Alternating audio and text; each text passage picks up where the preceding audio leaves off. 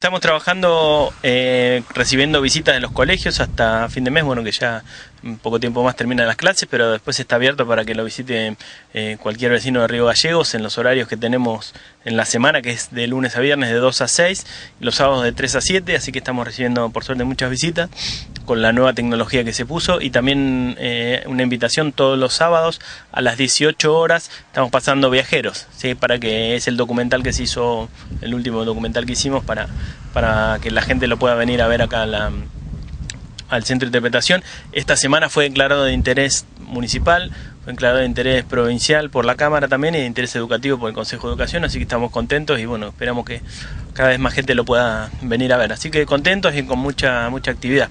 Germán, ¿cuáles fueron las repercusiones de esta nueva tecnología que se implementó con el centro? Bien, la verdad que tanto de chicos como grandes eh, la disfrutan, eso es lo importante para nosotros. Y bueno, es el esfuerzo que se hizo, tanto la inversión como el trabajo que hay para que eso eh, funcione y adaptarlo a, las cuestiones ambientales, la verdad que no ha sido en mano y, lo estamos estamos digamos sacándole sacándole jugo con los chicos que nos, que nos visitan y los vecinos digamos los adultos también. Así que contento invitándonos a todos.